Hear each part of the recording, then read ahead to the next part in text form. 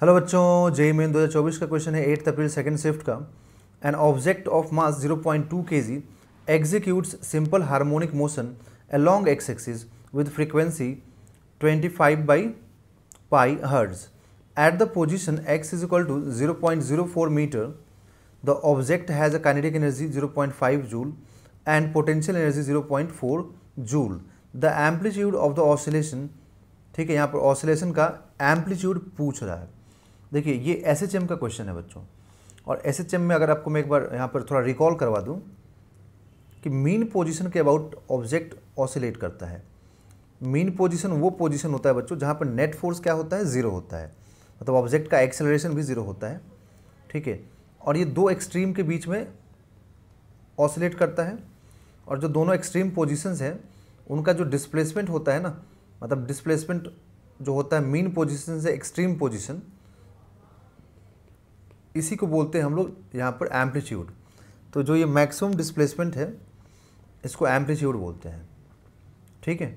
तो ये positive amplitude आ गया डिस्प्लेसमेंट ये नेगेटिव डिस्प्लेसमेंट तो ये एम्पलीट्यूड हो गया।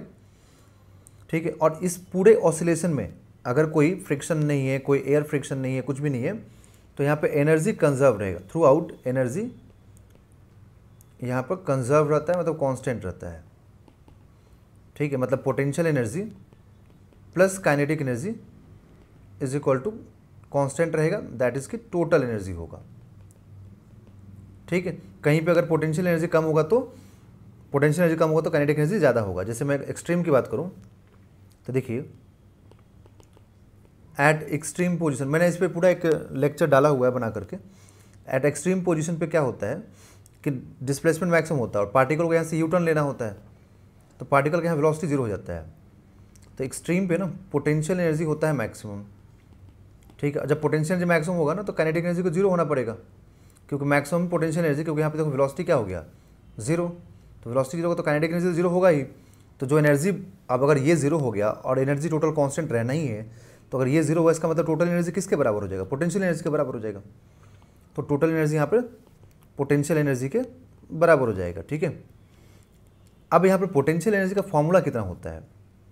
तो पोटेंशियल एनर्जी का फॉर्मूला की बात करें अगर हम लोग तो जनरल फॉर्मूला होता है half M omega square A square ठीक है? Sorry general formula X square X मतलब डिस्प्लेसमेंट ठीक है? तो एक्सट्रीम पोजीशन पे क्या हो जाएगा? एट एक्सट्रीम तो एट एक्सट्रीम पोजीशन हो जाएगा बच्चों।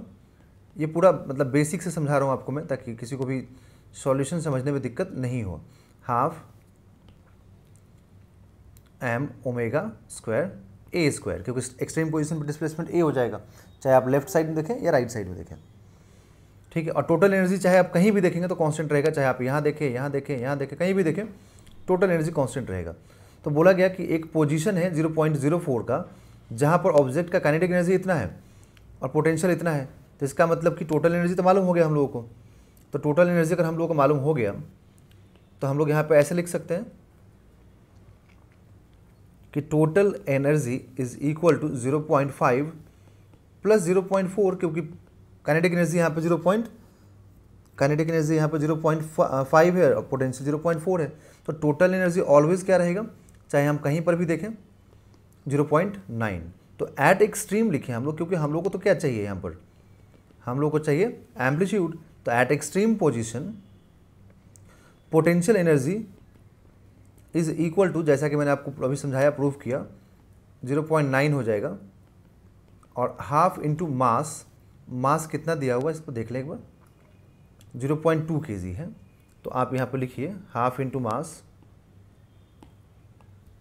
0.2 K G into M omega square होता है। तो ओमेगा मतलब फ्रीक्वेंसी कितना है?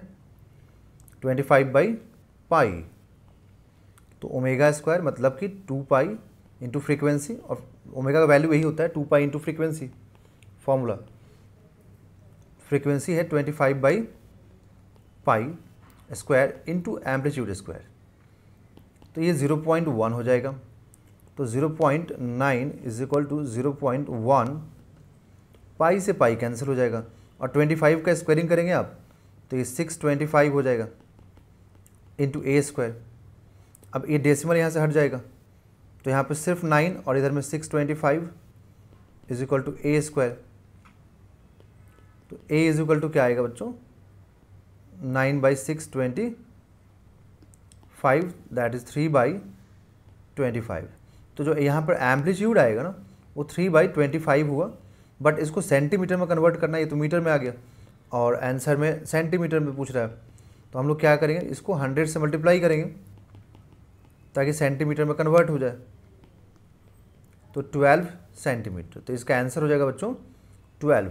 तो आई होप आपको पूरा समझ में आ गया होगा, अच्छे से एकदम बिल्कुल। एंड मैं ये भी उम्मीद करता हूँ बच्चों कि अगर आपको वीडियोज़ अच्छा लग रहा हो तो इसको प्लीज़ आप सब्सक्राइब कीजिए चैनल को। वीडियोज़ को ज़रूर लाइक कीजिए और अपने दोस्तों के साथ ज़रूर शेयर कीजिए। थैंक यू बच्चों।